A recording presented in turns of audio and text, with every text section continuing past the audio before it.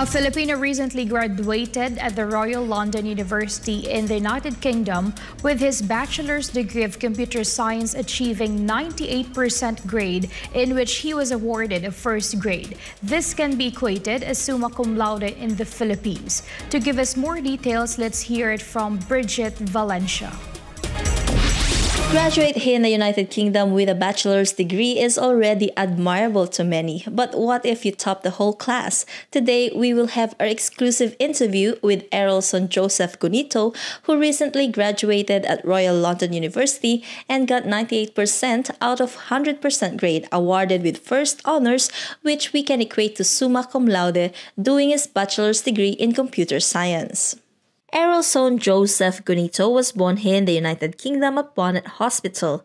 He is the second child of three siblings. His mom is from Isabela and his dad is from Batangas. He gladly shared with us his educational history and how he got into the university, wherein he became the top student out of 200. My name is Errolson Gonito and I'm 22 years old. So my parents uh, immigrated here before I was born and I was born here in Barnet Hospital. I studied in St. James Catholic High School for my GCSEs and A levels. For my GCSEs, I got high grades, which allowed me to continue to do A levels. And in my A levels, I picked maths, physics, and sociology. Again, I was able to get good grades to be accepted for my offer for Royal Holloway University of London, in which I did computer science. So recently, I've just graduated a few few weeks ago with my computer science bachelor's. He then shared why he picked the course. I picked a course because I've always had an affinity for computers. When I was 14, I built my own computer for gaming. That was the main, one of the big reasons. But of course, I really be able to apply my knowledge to creating new technologies because I think in the future we'll be even more connected with technology and being able to understand it and apply it in the theory behind everything in technology. You know, I'll be able to help people's lives with, you know, the new technologies in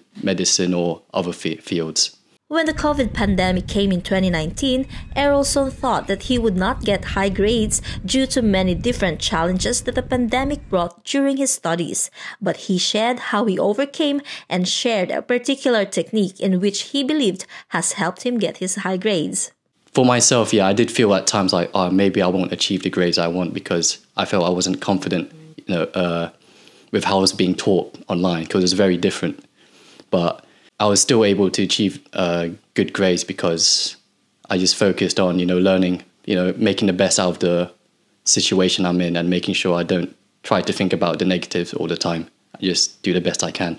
The young achiever also shared how the grading system works here in the United Kingdom. For grading in university, there's coursework and exam. For coursework, it's more uh, applying your knowledge and the theory you've learned. So basic, so simply like making programs, for example, making an application, I guess, for courseworks. But for exams, is a lot of memorization, I'd say. You do need to understand the concepts, but once you understand it, it'll be a lot easier to memorize for the exam. He also gave a little advice to those who would like to take the same course. There's probably going to be a lot of pressure on you, as I am uh, very familiar with. But most importantly, is well, Matt, it does. Don't focus on the grades. Just focus on improving your knowledge, learning as much as you can, take take your time. Uh, make sure you don't burn yourself out because even with all the pressure, at the end of the day, this is your life and this is your, you know, this is you're doing it because you want to because you're passionate about this degree. So do the best as you can and learn as much as you want as you're comfortable with. We also asked about what the government here in the United Kingdom provides to students like him to help them enter higher education, and if he is to meet the Philippine president, what would he say to him regarding education? If I if I could meet the president, I would say the biggest the biggest uh, barrier for people is the loan, the the money, the costs of study at higher education. And here in the UK, we have student loan, which you know the government will give you will pay for your tuition fees and your maintenance fees. So you don't have to worry as much as the financial situation when you're studying.